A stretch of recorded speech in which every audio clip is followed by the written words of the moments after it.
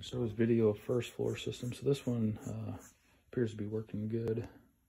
Has some rust inside the uh, panel here. We have an undersized return and older humidifier. If we look at uh, putting in a new system, obviously base, furnace, coil, supply plenum, we'll have to look at uh, scooting the return over a little bit and then offsetting over a couple inches just to get clear of, of this guy here. So this is down about, uh, let's just say a foot before we can even create our offset. We gotta keep that in mind.